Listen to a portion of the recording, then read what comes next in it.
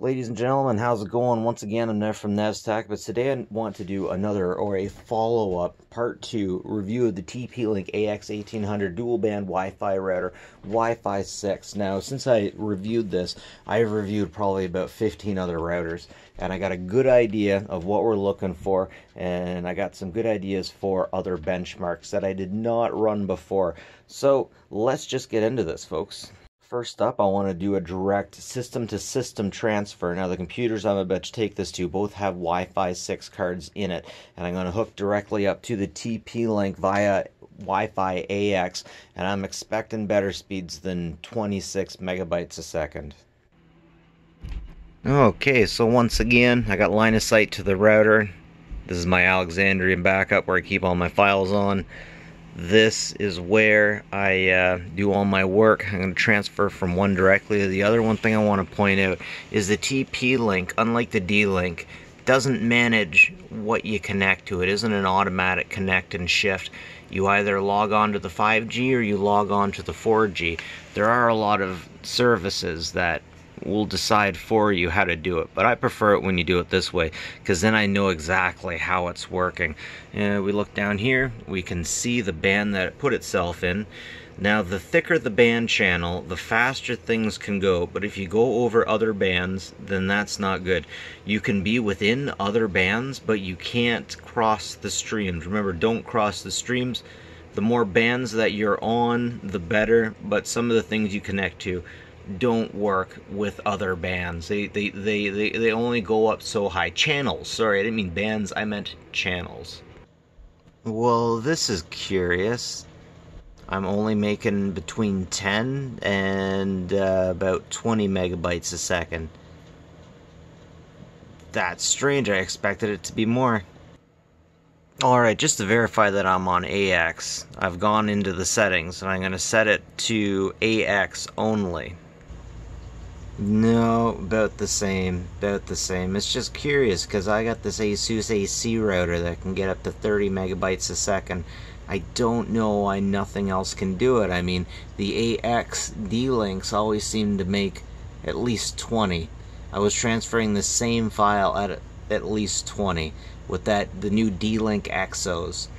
I mm, like like it's not a slow speed. It's still pretty fast, but still once again, I've gotten better at AC, and I'm trying to figure out why. Oh, uh, yeah, that's what I want to see. A new firmware upgrade. Let's see how this does. Yeah, that really didn't help too much. Anyways, one thing I noticed is that I was kind of screwing up a little bit on the... Um, oh, I showed you the 2.4 band. This is the 5 band. And, um, yeah, it looks like I'm definitely sharing it. I wonder if I can change where I am here and see if that helps us at all. Okay, so I went in, I told it to use AX only, I uh, told it to automatically switch bands, and, okay, so it switched, uh, sorry, channels, it switched channels to a lower channel, but at the same time, it definitely hurt the transfer rate, so once again, something that's probably better off not to be messed with. I was getting up to about 11 megabytes, ah, there it goes, there it goes lower than what it was, though, of course. Next up, we're going to speed test the gigabit hardwire Ethernet. See how fast we can really make it go. Okay, so hardwired is about 60 megabytes a second, 65 megabytes a second. That's pretty good. Oh, yeah, going up to 70.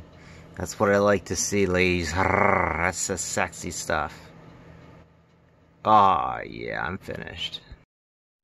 Okay, check out these speeds I've managed to achieve.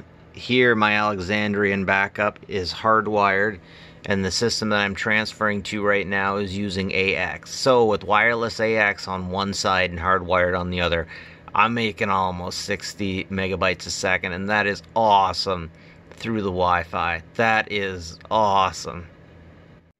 So this unit is definitely powerful. I mean, the Wi-Fi is better on this than it is on a hardwired fast internet. That's uh, 100 megabits, which comes to about uh, 12 megabytes. This thing transfers better than that.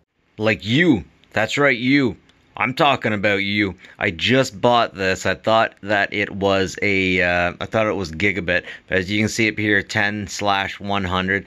That's what they call technically fast internet and uh, it's not fast at all. I mean it's fast if you just want to print things or something. Anyways over here i got my gigabit unit but it's old probably like 20 years old. And then i bought this to replace it with but yeah it's not gigabit. It's just 10 slash 100 or fast. And the ax bandwidth is faster than this thing is hardwired the AX wireless is faster than this, and I can still buy this stuff new. And they call it business solution still. What's going on there? There's a lot to be said about that. I actually got gigabit cables. In the end, for your gaming, you you don't even want wireless. You don't you don't want wireless at all. AX, you don't want any of that. Uh, you want the hard wire. Cat five, Cat six, Cat seven, maybe that's what that's what you're after. So for gaming, there is no Wi-Fi that's good for gaming. You gotta hardwire it, but it's good. It's good and it's fast. It's not as fast as uh, what is it? The AC 1800 from Asus. That was an AC, but still not bad. I can't complain. It's good for the money. It's definitely good for the money. Check out my link in the description if you want to pick one up for yourself. That helps me out quite a bit. Anyways, ladies and gentlemen, that's it for me. from Nez Bets. Like and subscribe if you like this stuff. Leave a comment if you think I've missed something. Uh, I always appreciate. I always appreciate learning new things too. Anyways, take care of each other, folks.